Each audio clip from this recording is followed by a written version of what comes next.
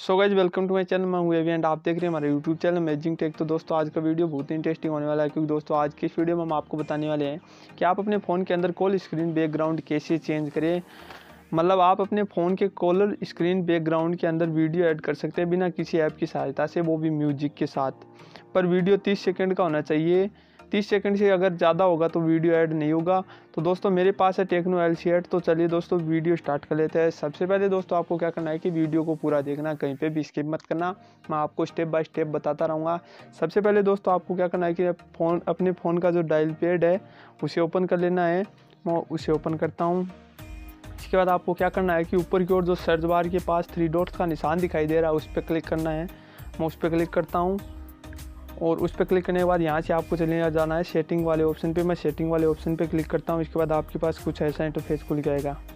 इसके बाद आपको क्या करना है कि नीचे की ओर से जो चार नंबर वाला ऑप्शन दिखाई दे रहा है माई वीडियो सो उस पर क्लिक करना है। उस पर क्लिक करेंगे तो आपके सामने कुछ ऐसा इंटरफेस खुल जाएगा इसके बाद यहाँ पर आपको मतलब तीन या आप, आपको यहाँ पर चार मतलब वो वीडियो तो फ़ोन की तरफ़ से मिलेंगी। और अगर आप और ऐड करना चाहते हैं तो इस प्लस वाले आइकॉन पर क्लिक करके और गैलरी से किसी भी वीडियो को मतलब ऐड कर सकते हैं।